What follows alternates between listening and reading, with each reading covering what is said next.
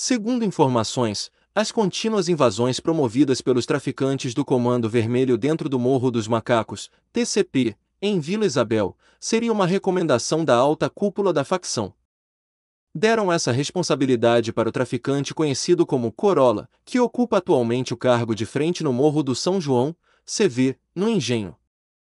Corolla estaria dando apoio para os crias do Morro dos Macacos que pularam para o Comando Vermelho na última guerra entre as facções. Esse bonde estaria estrategicamente posicionado no Morro da Mangueira.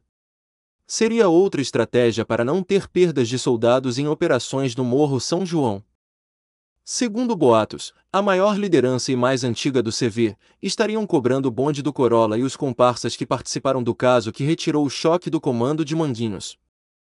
No entendimento da alta liderança, a cobrança foi um erro grave, mesmo com o aval do Abelha, na época, atuava como presidente do conselho na capital.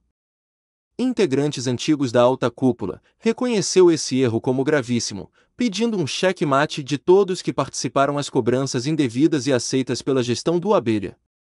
Queriam a cabeça do Corolla quando o comando de Manguinhos voltou para os homens do choque.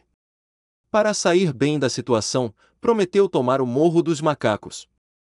Agradeço a todos que vêm comentando, me incentivando, vocês que me inspiram a trazer novos conteúdos. Se gostaram, clique no gostei e se inscrevam no canal.